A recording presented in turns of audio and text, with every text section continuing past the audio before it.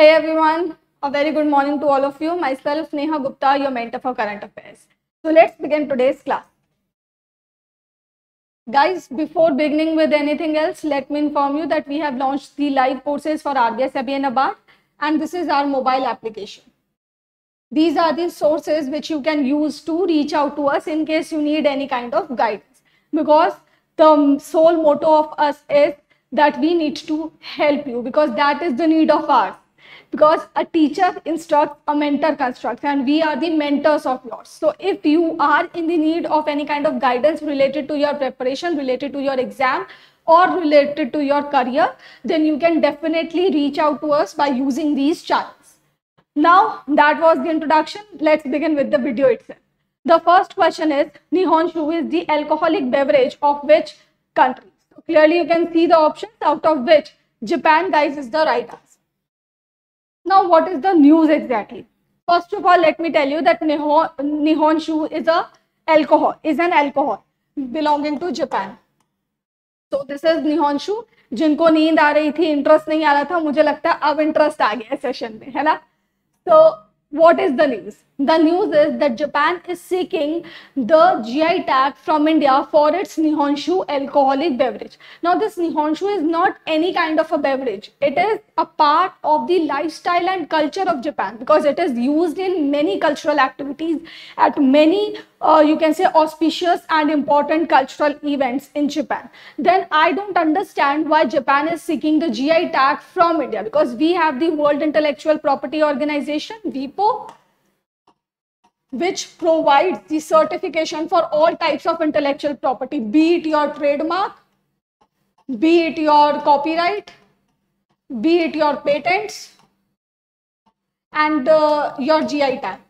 WIPO is the organization which provides the certifications against all these intellectual properties. Then I don't understand that why is Japan seeking the GI tag from India, that too under a GI regulation of Indian land okay the GI tag is sought under the Geographical Indication of Goods Registration and Prevention Act of 1999. Okay, so this is a task for all the students who are curious enough to find the answer of this question that why does India, uh, why does Japan seek this GI tag from India? What is the need of it? Okay, because in India, why do we provide GI tag to the products? In order to increase its market reach, in order to increase, increase its, uh, you can say market value. Okay, oh, because of that, we provide the GI tag and after giving the GI tag, the product's value not only in domestic market, but in international market also increases. So that's the idea of giving GI tags on Indian land to different products. But why is Japan seeking an Indian GI tag? I don't understand that, okay? So this is your task, do find it out. Now one more thing which is important that is that Nihonshu is the alcoholic drink created out of fermented rice, okay? So rice is the main ingredient. There is rice, there is water and there is a fungi which is used to create this Nihonshu. The other two ingredients are not important but rice is important because that's the main ingredient of it. So you should be aware of the question that which crop is used to create Nihonshu beverage, okay? So that is your uh, important fact. Now, apart from this, we are talking about Japan. So, a very basic fact I want to tell you about the geography of Japan is that Japan is an archipelago of 4,000 small islands. I guess we have discussed this fact prior as well in one of my videos earlier, but there is no harm in revising the content, okay? And this revision will help us in retaining these facts for a longer period of time, right? So, it is an archipelago of 4,000 small islands, but the main islands of Japan are only four. First is Hokkaido, then Honshu, then Kyushu and Shikoku. These are the four main islands of Japan. One more island is important, that is Okinawa, which is located far off from, the, from these four islands, okay? So this much is the relevant fact from Japan. Now question number two is, where is South Asia's first state-of-the-art, most advanced biplane cardiac uh, catheterization laboratory established. So here, the right answer is option A, D.Y. Patil Medical College, which is located in Mumbai. Now, what is it? First of all, note this place. It is the first of its kind state of the art. State of the art means the modern laboratory. It is uh, equipped with all the modern uh, equipments or technology. Now it is for providing the uh, facilities for the cardiologist. Okay. Cardiologist se related hai ye laboratory. That much is important for you to remember. Uh, apart from this, you don't have to go into too much details. All the facts that can be asked from this news are presented in this slide as well as one more slide. So let's look at the facts. First is the name of this laboratory. Second is the name of the hospital where it is located, D.Y. Patil medical college hospital and research center dy patil medical will be suffice for you to remember okay in navi mumbai then this is set up by Wipro GE Healthcare. This is also an important fact. It can be asked. And another fact that is important is that it is South Asia's first state-of-the-art uh, cardiac laboratory. Okay, cath laboratory. Now, guys, I have already told you this fact that it is South Asia's first state-of-the-art uh, uh, advanced model of cath lab which is used by the cardiologist. Now, one more fact is here that we all need to pay attention to which is related to comedian late comedian Raju Srivastava. Last month, we witnessed the unfortunate demise of this comedian, uh, Raju. But after his death, there is one most important event that took place. That is vitropsy. India did first for the first time, uh, India conducted the vitropsy and the vitropsy was conducted on his body. So vitropsy is virtual autopsy. Now it is the first time in the entire South Asia and Southeast Asia where the vitropsy was conducted. Now, which hospital of India conducted this vitropsy? This is your question. Do tell me in the comment section below because I have taught you this. So, I expect my students to answer this. Okay, question number three is which state has launched the Kunj app, a mobile application to prevent cyber crime against children in the state? So here option A, Kerala is the right answer. What is the news? The news is very simple. The CM of Kerala, Pinarayi Vijayan, has released, uh, has launched this mobile application Kunj app. Okay, K for Kerala, K for Kunj. Okay. And the basic idea is to prevent the cyber crime against children.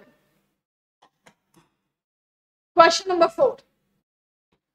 Which state has launched the strengthening and augmentation of municipal revenue for infrastructure development in Delhi? Uh, okay, so it is in the question itself. Samriddhi scheme to provide major relief to the property owners. Don't worry, this question will be corrected in the spotlight as well as in the PDF itself. Now, Samriddhi scheme has been launched by Delhi. You have read it in the question itself. What is the purpose of Samriddhi? Samriddhi is the scheme which has been first of all launched by the LG of Delhi and not the government of Delhi. First of all, remember this. So LG is Vinay Kumar Saxena, who was earlier the uh, chairman of KVIC, Khadi Village and uh, Industrial Industries Council. Who is the current chairman of KVIC? This is your task. Do tell me in the comment section below. Now coming back to this news, so Delhi LG has launched this scheme, Samriddhi. Under this scheme, basically, all the property owners, the residents, the residents, okay, plus the commercial places. So residential and the commercial places.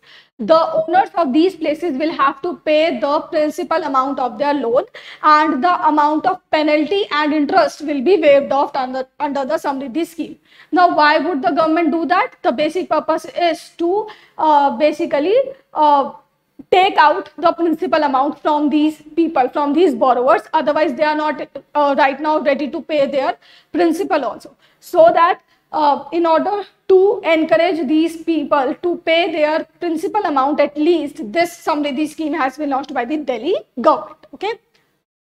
Now, recently, related to property only, the Delhi government, uh, the conversation related to this news was already there that Delhi government should authorize the unauthorized colonies and paying heed to this uh, controversy. The Delhi government it had authorized 1731 unauthorized colonies. And this is not a very old news. It happened recently like last year or i guess last to last year this happened. But it happened uh, it is a very fresh news as far as the reality state of the the national capital territory of delhi is concerned okay? So do remember this fact as well that delhi had authorized these many unauthorized colonies in the union territory. And now this scheme has been launched which basically uh, provides the property rights. Obviously property rights were already there with the borrowers of the loan. Now this scheme is basically waiving of the interest and the penalty on the late payers. That's the basic idea so that we can gouge out the money the principal money out of those people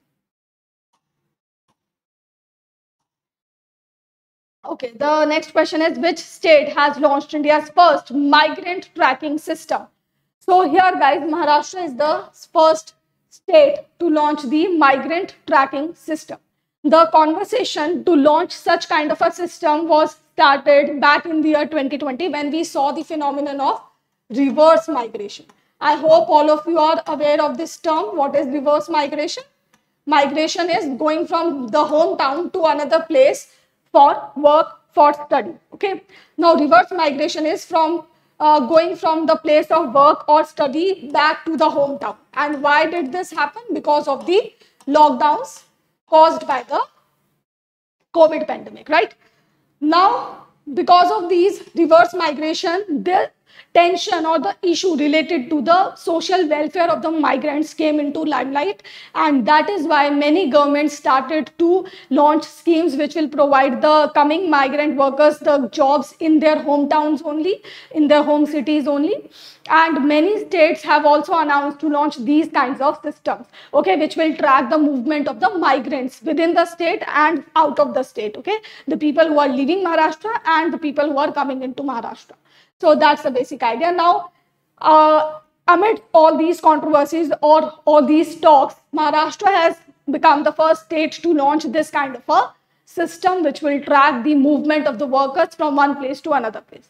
Now, why does Maharashtra want to track the movement of migrants? The basic idea is to provide them the social welfare scheme. Okay, so uh, in order to bring all the migrants and the lower class people under the net of the social security schemes.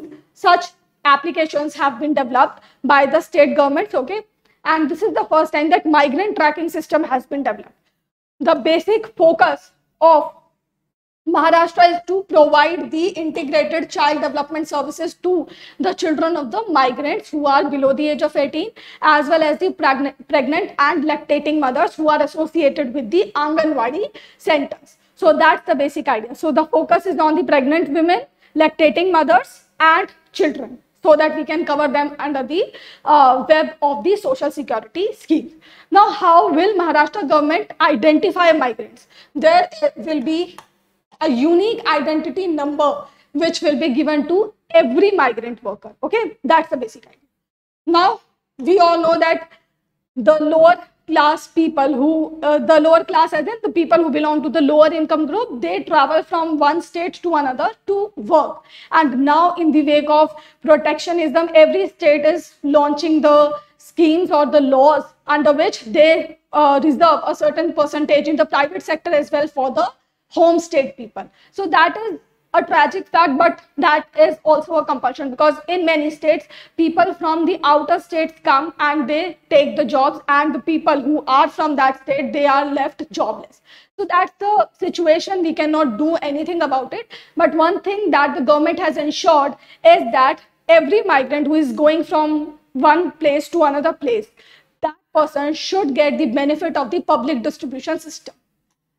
PDS system under the National Food Security Act of 2013. How has the government ensured this?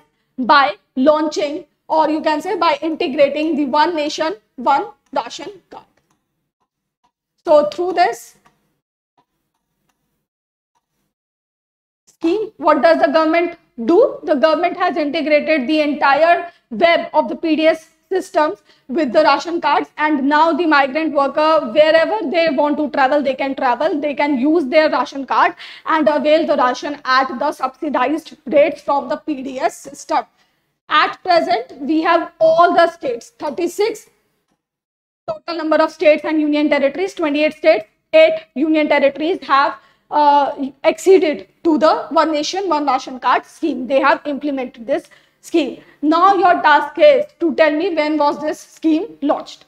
One more fact that I want to highlight here is, which is very, very important. The fact is that Assam was the 36th state to implement the one nation, one ration card scheme. Okay, that is all for this news. Now let's move on to the question number six. Recently, India and US navies organized the second edition of the India-US Tri-Services amphibious HADR exercise named Tiger Triumph at Vishakhapatnam. Which of the following exercises is not conducted by India and the US?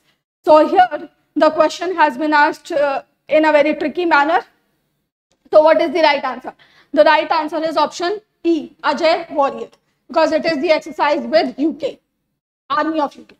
Now, before moving into the news itself, I hope all of you are aware that the new Prime Minister of UK has been appointed and it is a matter of proud for all of us that now the person of Indian origin is reigning, is ruling the colonizers of our land. So that is a very proud moment for all of us. Okay, we have shown that the leadership of India is next to none. Okay. Now coming back to this news. India and US navies have organized the second edition of the India-US Tri-Services. Understand? Tri-Services. Army, Air Force, Navy. All these three are connected. Okay? Amphibious HADR exercise. HADR is Humanitarian Assistance Disaster Relief Exercise. So it is conducted in order to ensure the interoperability between India and the US Armed Forces whenever uh, in case of any disaster in a case of any natural calamity okay? so if there is any kind of natural calamity how uh, efficiently india and us armed forces can uh, work together to mitigate that situation that would be ensured through these exercises because these exercises help them in practicing the situation again and again and you must know this fact that simulation is a very effective technique of on-the-job training that helps the people in uh, getting efficient in their job. And in the armed forces, nothing is better than the simulation technique. And this is like that only. Now, it aims to increase the operability. I have already told you. So what you need to remember from this news, the edition, second edition, then the name Tiger Triumph and the place, Vishakhapatnam in Andhra Pradesh. Now I have guys knowledge nuggets for all of you.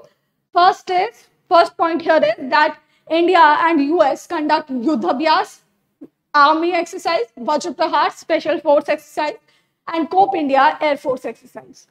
Multilateral exercises in which India and uh, US both participate are Malabar exercise, India, Australia, Japan, and uh, your US.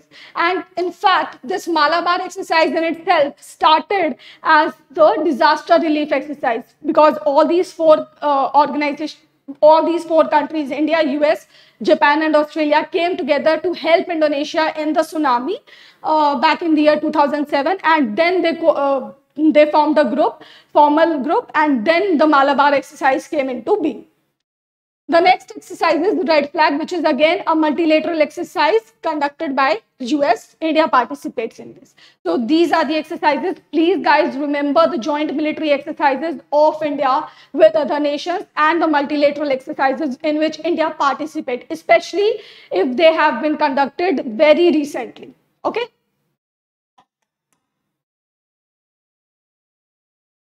Question number seven is in October 2022, Agni Prime new generation ballistic missile was successfully test fired off the coast of Odisha from the APJ Abdul Kalam Island. What is the range of this new generation advanced variant of the Agni missile? So here, whenever there is a missile, the range of the missile is very, very important for you to remember because otherwise there is nothing else to be asked from the questions of these kinds of news. ठीक है, missile के बारे में और क्या ही पूछेंगे? We know that there are hardly any two to three places from where the missile launches are done and the most important one is the Andhra Pradesh state it from there many missiles missile launches are conducted so what what can what kind of a question can be created out of this news apart from the range so range is very very important now coming to the range the answer is one thousand to two thousand kilometres Agni is Agni prime is the part of the Agni series of missiles which again is a part of the integrated missile development programme started by the APJ Abdul Kalam okay and in the integrated missile development programme we develop missiles like Nag Prithvi Trishul Akash and Agni. So these are the five missiles which were developed under the program and when was the program started? This is your question. Tell me in the comment section. Now coming back to this news. Agni missile, Agni Prime is a variant of the Agni missile itself and uh, it is a ballistic missile which has been launched from the APJ Abdul Kalam of the coast of Odisha. Okay? And the range of this is 1000 to 2000 kilometers. Now guys, we are talking about the missiles. So I'm going to give you a brief distinction between the ballistic as well as the cruise missiles because these are the only two types of the missiles uh, largely, okay? So ballistic missiles are those missiles which are firstly shot for uh, for uh, destruction on another continent, okay? So you can consider it another continent and this one is continent A, okay? So from one continent to attack on the other continent, we use the ballistic missile because you can clearly see the trajectory it is following. It is launched from this place, it goes into space, and then it is uh, navigated towards its destination, towards its target. So ballistic missiles, first of all, इनका range बहुत बड़ा होता है because they are the intercontinental missiles. छोटे missile से तो काम ही नहीं बनेगा समुद्र में ही गिर जाएँगे ठीक है Secondly, they are very destructive in nature because they are capable of carrying heavy war, uh, warheads. Okay, payload इनका बहुत ज़्यादा होता है. Payload is basically the explosive which can, which they can fill in their warhead, and this is the warhead, the topmost part of the missile. The remaining part of the missile is just the engine which helps in carrying this warhead from one place to another place. That's the basic idea some ballistic missiles are so powerful that they can destroy the areas which come in between their targets okay? Suppose this missile if the explosives are filled in these parts also so when they drop on earth they can create explosion so some missiles are that powerful. Now cruise missiles. Ballistic missile takes this much long route but cruise missile ke itne tantrums nahi hote they directly go to the target and hit it. But obviously they do not have that uh, long range. unka range bahut short hota hai cruise missiles ka and their path their flight is also narrow in comparison to the ballistic. You can clearly see the distance. But the height of the cruise missiles the height of the flight is very short you can say. That's why sometimes cruise missiles are also called the tree missiles because their height is usually uh, equivalent to a full developed tree they are very accurate. Now we have seen the example of a ballistic missile, Agni. Okay, the range is 1000 to 2000 kilometer. Related to the cruise missile, we cannot have any better example than the BrahMos missile. BrahMos is the cruise missile, which is known for its accuracy, which is known for its for its nuclear capability. So that is the example. I hope you have understood the difference between the cruise and the ballistic missile. Obviously, I have given you a very superficial level of distinction, but I'm not a defense person, neither are you. So we don't need to go into the construction of the missile and, and all because that is not needed for RBI, SEBI or NABARD exam. I hope you have understood the basic difference. Okay, the question number eight is, who has been appointed as the charge of the affairs in the US Embassy in New Delhi. So here Elizabeth Jones is the right answer. Now this question is only important if your examination is in one month from this date. Otherwise this question has no relevance, okay? Such type of appointments are not important because they are uh, they are very uh, you can say they are numerous आए दिन कोई ना कोई charge of the affairs appoint होते हैं। आए दिन कोई ना कोई अम्बेसी में एम्बेसडर अपॉइंट होते हैं। That is why I tell you not to cover such appointment क्योंकि ये बहुत सारे right now one more thing delegation से related भी I recommend you the same thing, okay? Delegations, the foreign delegations which come to India are not important until or unless your examination is nearby. As a mentor, it's my responsibility to inform each and every student of mine about the current affairs which are happening uh, right in the day. But as a student, you have to be smart enough to choose what you have to read, what you uh, have to uh, select from the Spotlight magazine, okay? So such kind of news is only important when you have your exam coming up. Question number nine is when is the Pol World Polio Day observed? So October 24 is the right answer. Now, October 24, we do not uh, only celebrate the World Polio, Polio, Polio Day. We have two more days. One is the World Development Information Day. There is no theme of this day in this year. United Nations Day इसका भी कोई theme नहीं है then World Polio Day the theme is World Polio Day at beyond a healthier future for mothers and children okay now when did india uh, launch the national polio immunization program this is your task to tell me question number 10 is when is the un disarmament week celebrated so it is celebrated from october 24 to 30 now we celebrate two important events during this week. First is the Disarmament Week. Another one is the Global Media and Information Literacy Week. Okay, both of these weeks are important. One is important for uh, ensuring the peace in the world and second one is important for maintaining the peace, right? So Disarmament Week has the theme Disarmament Securing Humans, Humanity's Future and global media and information literacy week's theme is nurturing trust of media and information literacy imperative okay? अब इतनी बड़ी theme याद रखना is very difficult so what you can do is you can pick out the keywords so keyword is nurturing trust और trust trust media information literacy imperative these are the five keywords आगे पीछे का नहीं याद रखोगे तो भी चलेगा. Otherwise there are only three word which are left so if you can remember the entire thing, you can do so. Or if you can remember the keywords that helps you out, then you can remember the keywords also. Okay. So here guys, this video ends. I hope you have enjoyed the content provided by me. Do mention the answers of the question which I ask you during the video. Thank you so much for watching the video. Keep learning.